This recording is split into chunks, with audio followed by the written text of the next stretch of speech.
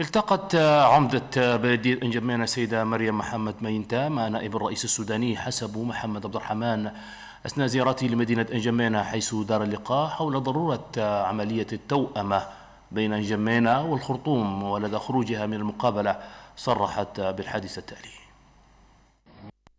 أيوة جينا والنائب أنا رئيس السودان لاقانا اليوم ومثل ما تعرفوا أنينا الشهر الفات مدينة انجمينا وفق قمة ومشى خرطوم مشى خرطوم عشان يجدد التوأمة بين انجمينا والخرطوم. وفالحمد لله مشينا جددنا التوأمة. مضينا في برنامج أنا عمل أنا خمسة سنة 2017 2021 وجينا واليوم الرئيس نائب الرئيس جاء وجينا لنشكره. نشكره عشان البرنامج ده قدرنا جددناه.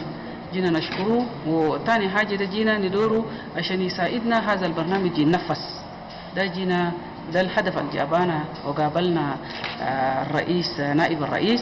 ونائب الرئيس حقق لنا لأنه بقدر بيساعدنا عشان البرنامج ده يتنفذ والكلام ده قال بالحرف.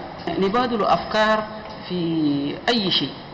الفكرة اللي أنينا هنا عندنا خرطوم ما عند أنينا نودوه وفكر الخرطوم عند ليه أنينا في تشاد ما عندنا ليه ولا في جمينا ما عندنا ليه من الخرطوم ننقله نجوبه هنا